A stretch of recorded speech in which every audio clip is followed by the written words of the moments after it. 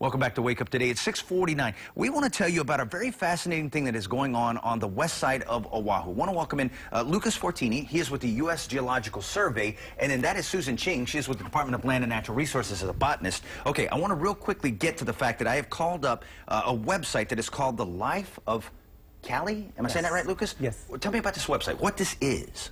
Okay, so here in Hawaii, there's a lot of unique plant species that occur nowhere else in the world, and some of them are extremely endangered.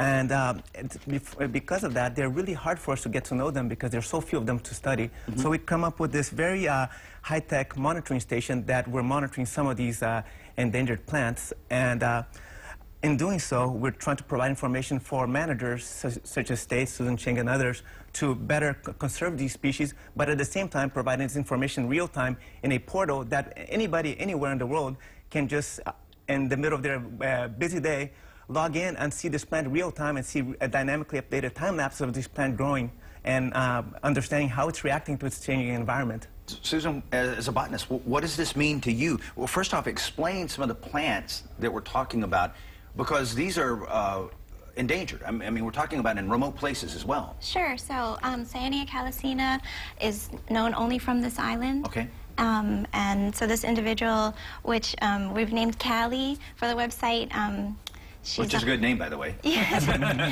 She's got a blog, and there's a lot of interesting posts that we're um, putting up there. Um, you can just uh, see how she interacts with the environment, um, changes that are happening due to moisture levels, sunlight. Um, it's just about to flower, so it's going to be really exciting. Um, you know, we'll be able to watch the flowers open and um, look for pollinators. Um, we'll also be having some human pollinators come in. some of us are going to be going and taking some pollen from other plants and putting it on this plant in okay. order to ensure that we get some fruit set that we can then use for propagation and um, making keiki for planting in other places. Um, nice. So we're trying to, you know, make more of them. You sound like a proud mom which is a good thing.